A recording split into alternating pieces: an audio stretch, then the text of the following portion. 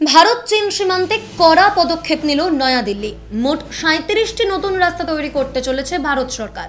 সব মিলিয়ে চীন সীমানা এলাকায় প্রায় আটশো পঁচাত্তর কিলোমিটার রাস্তা তৈরি হবে।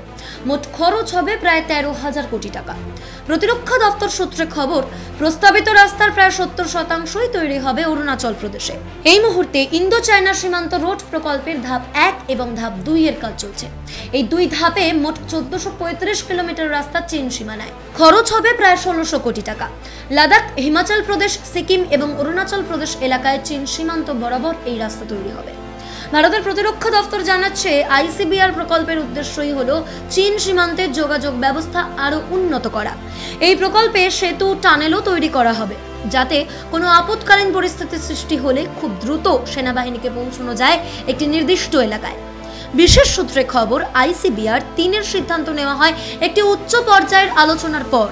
জানা যাচ্ছে, অত্যন্ত জরুরি ভিত্তিতে ধাপ তিনের সাঁত্রিশটি রাস্তার মধ্যে বাইশটি রাস্তা তৈরি হবে। তারপর আবারও আইসিবিআর এক এবং দুই এর কাজ শুরু হবে। এবং আইসিবিআর একের প্রস্তাবিত পঁচিশটি রাস্তা চলতি বছরের ডিসেম্বরের মধ্যে সম্পূর্ণ করার কথাও জানা গিয়েছে।